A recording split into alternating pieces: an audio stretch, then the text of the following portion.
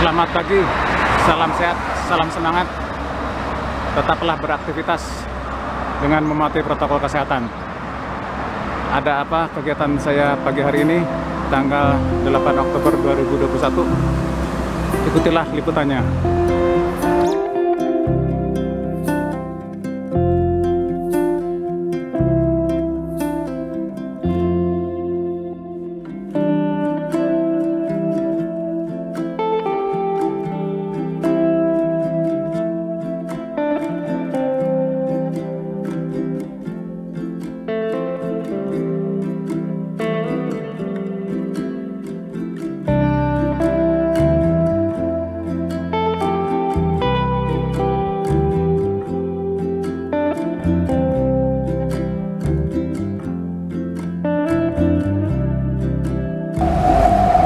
Pagi ini tanggal 8 Oktober 2021 saya berada di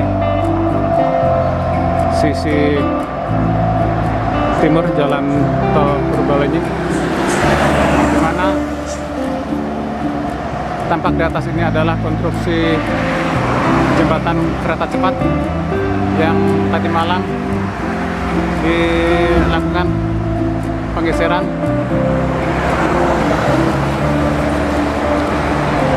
mendudukkan kaki-kaki yang ada di ujung konstruksi ini di support portal bin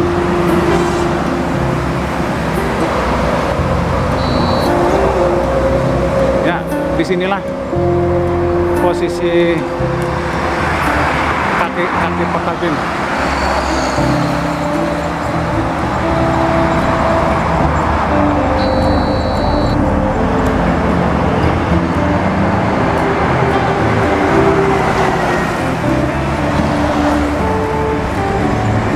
situasi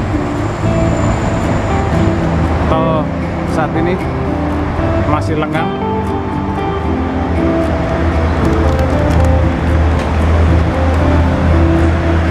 Ya inilah panjang konstruksi yang berwarna merah ini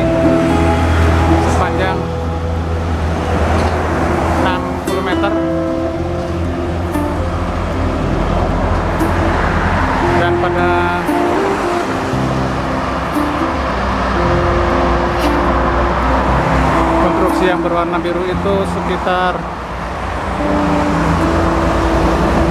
40 meter.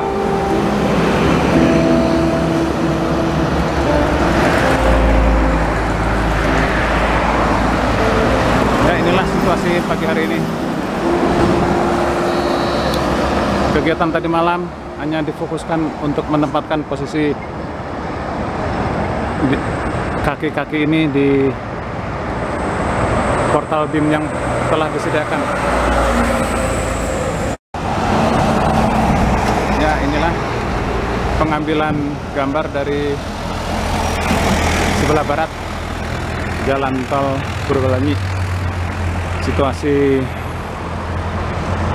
kendaraan pagi hari ini sudah tampak padat dan lancar.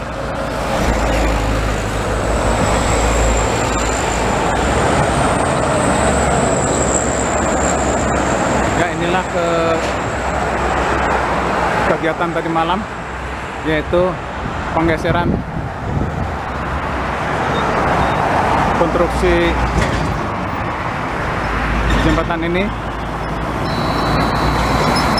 untuk menempatkan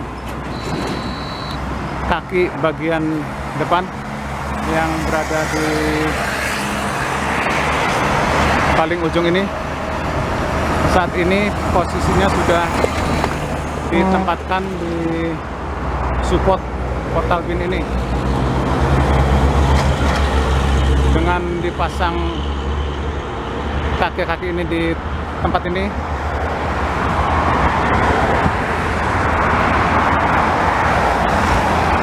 Struktur jembatan ini yang terpasang sudah sangat aman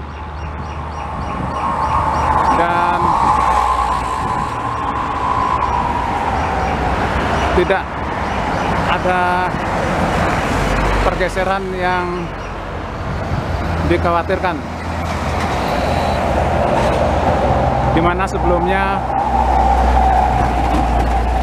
apabila belum ada support di titik ini sangat rawan dan berisiko tinggi. Inilah yang dikerjakan tadi malam yaitu menempatkan kaki-kaki bagian depan ini pada posisi yang sangat aman.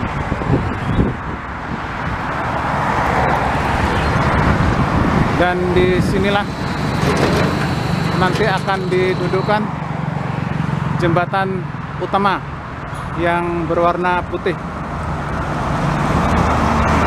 sisi barat dan di ujung sana di sisi timur.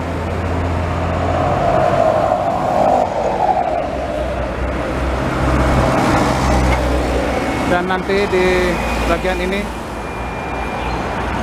akan ditempatkan girder dan menopang di pilar ini begitu selanjutnya sampai pada larang. Inilah pilar-pilar yang sudah siap.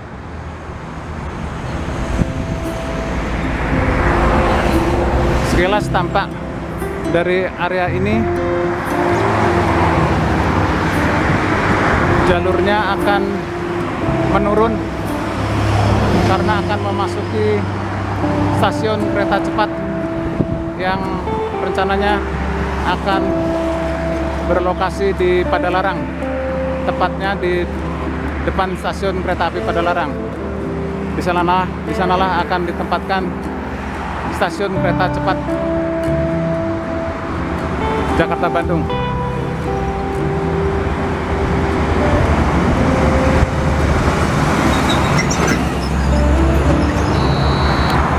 Semoga dalam bulan Desember atau dalam tahun ini pemasangan girder sudah sampai di area ini